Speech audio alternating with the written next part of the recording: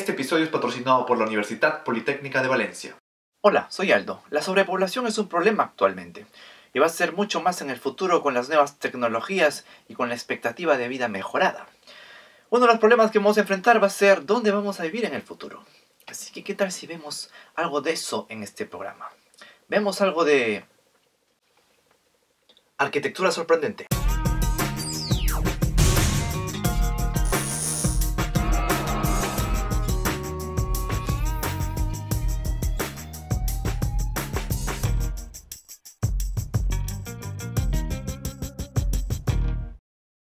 En el mundo hay más de 7 mil millones de personas, y no es que abarquemos todo el mundo, como vimos en el video de tamaños sorprendentes, toda la población del planeta hombro con hombro entraría en la ciudad de Los Ángeles.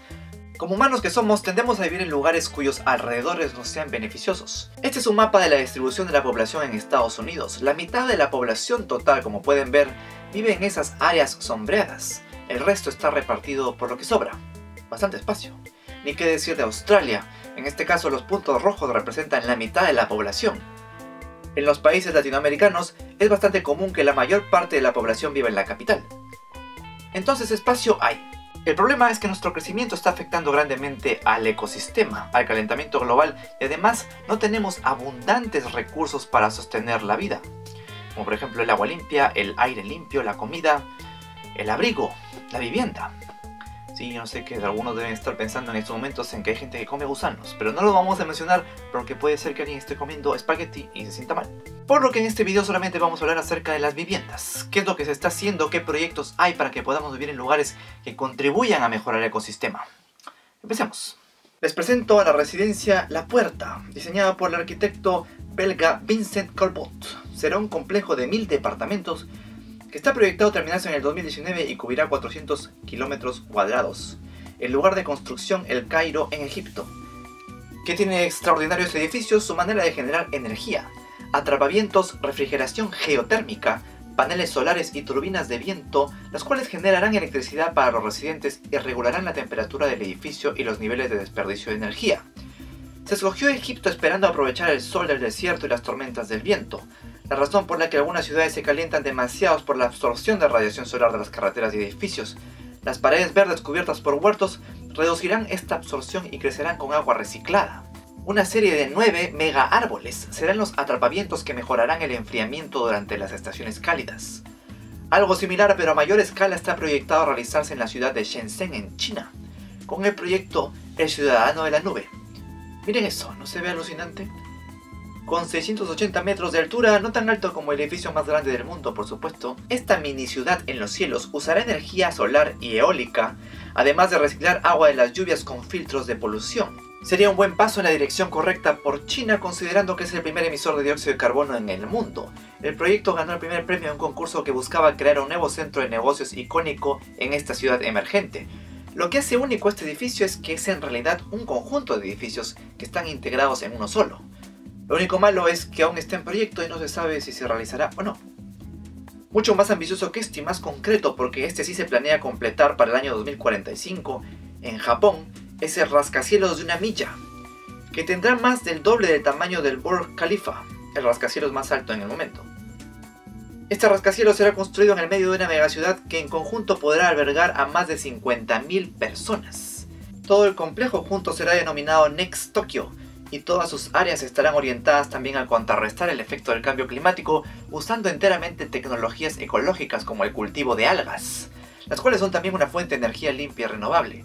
Algunos incluso dicen que conectaría perfectamente con el sistema de transporte Hyperloop que Elon Musk está desarrollando.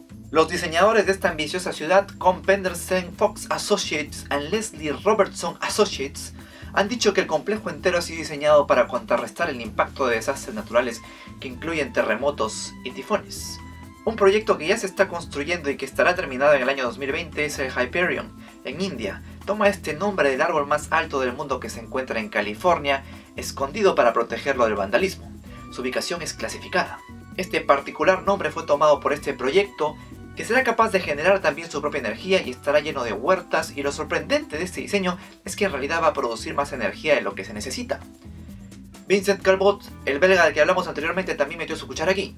Estos edificios serán realmente completos y tendrán jardines que generarán energía. Estas imágenes nos dan una idea de lo que podría parecer algún día los jardines colgantes de Babilonia modernos, solo que con tecnología y con gimnasios.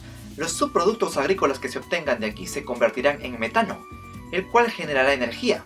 Un ecosistema saludable de lombrices de tierra, escarabajos y abejas oxigenará el suelo y lo mantendrá fértil. O sea, bastante completo. Parece un árbol, ¿no? Bueno, en realidad no. El que sí parece un árbol es Urban Sky Farm. Y cuando esté terminado podría ser una solución a la sobrepoblación y a la polución en Seúl, en Corea del Sur. Las plantas aquí serán cultivadas hidropónicamente. La hidroponía o agricultura hidropónica es un método que se utiliza hoy en día para cultivar plantas usando disoluciones minerales en vez de suelo agrícola. Los residentes también dispondrán de energías limpias en todo el edificio. Increíble, parece un árbol. Hay algunas tendencias que se acercan mucho más al concepto de árbol y buscan convertir los árboles de manera que nosotros podamos vivir adentro de ellos, de alguna forma. Bienvenidos a la arbotectura. Bueno, algunos lo llaman así. Estos proyectos no son tan ambiciosos y son más personales que los que acabamos de mencionar, pero igual vale la pena hablar de ellos.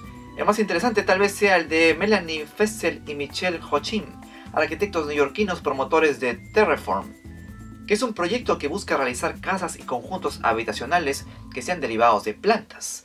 Para esto diseñan diferentes tipos de materia leñosa después de ser cultivados hidropónicamente otra vez en una estructura que es bastante robusta, lo único malo es que es un hogar para vivir solo por un centenar de años. Toma un mínimo de tiempo para crecer de 10 a 12 años. Lo alentador es que se puede hacer crecer un pueblo entero para miles de familias y encaja dentro del metabolismo de la Tierra. 100% vivo y parte del ecosistema, sin dudas una forma bastante novedosa de pensar en las estructuras que se podrían hacer en el futuro. No son los únicos, ya hay varios proyectos en el área de la arbotectura y no solo en ese área. Muchos diseños más utilizan material reciclado como cartón y plástico y buscan ser ecológicos. Voy a dejar los enlaces como siempre en la descripción para quienes estén más interesados en saber más de esto. Ok, eso es en tierra firme, pero ¿qué hay acerca del océano? ¿Acaso no podemos construir ahí? Hay algunas propuestas interesantes acerca de arquitectura sobre el agua. Tal vez el más interesante es el concepto de granjas flotantes. A falta de tierras de cultivo, porque eso también se va a acabar con el tiempo y la sobreexplotación de las tierras, el barcelonés Javier Ponce propone crear granjas flotantes. Las plantas de estas granjas no necesitarían los minerales del suelo porque crecerían también hidropónicamente. En el año 2050 se estima que la población llegue a 9 mil millones de habitantes y con eso también aumentará la demanda de alimentos un 70%. Necesitaremos mucha más tierra para la agricultura y el desarrollo de alimentos y tal vez no la haya. Puede ser como la agricultura se verá en el futuro. Cada granja cosecharía tres recursos, peces, cultivos y luz solar. Una sola granja regular produciría 8.1 toneladas de verduras y 1.7 toneladas de pescado al año. Otra gran idea, sin duda, esperemos que cuente con el apoyo necesario para poder concretarse. Pero ¿qué hay acerca de viviendas sobre el agua? ¿Se ha estado trabajando en esto también? Pues sí, la verdad que sí. Cada vez son más comunes los diseños futurísticos de casas flotantes que funcionan con energías limpias, e incluso ciudades enteras como el proyecto Artisanópolis del Instituto Seasteading, que algunos piensan podría ser la ciudad del futuro. Esta ciudad sería enteramente alimentada con energía solar renovable e hidroeléctrica y varios invernaderos en forma de domos. Se ve bastante prometedor, pero aún sigue en proyecto. Algo más cercano, sí, son las casas flotantes. Compañías como Jet Capsule están diseñando cosas muy chulas, como esta casa en forma de ovni para los fanáticos de los expedientes secretos X o para quienes simplemente les gusta el diseño en forma de plato. ¿Qué ventajas tendrías si vives aquí? Podrías ver la vida submarina en el confort de un dormitorio sumergido. El diseño permite también tener cuatro habitaciones, cocina y hasta jacuzzi. ¿De dónde obtiene la energía? Del sol, del viento y del agua misma a través de turbinas.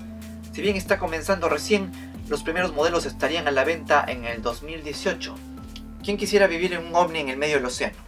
Yo sí mí me parece interesante. A no ser claro que uno de ustedes le tenga miedo al agua. Pero bueno, cuéntenos qué les ha parecido todos estos diseños. Estos diseños arquitectónicos, ¿creen que podrían aplicarse en el futuro? ¿Cuál ha sido para ustedes el más alucinante? ¿Tienen algún tipo de plantas hidropónicas?